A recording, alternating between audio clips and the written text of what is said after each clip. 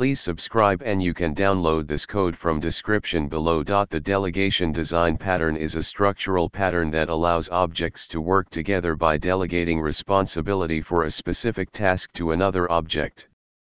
In this tutorial, we will explore how to implement the delegation design pattern in Python using abstract methods provided by the ABC module. Abstract methods ensure that concrete classes provide specific implementations for delegated tasks.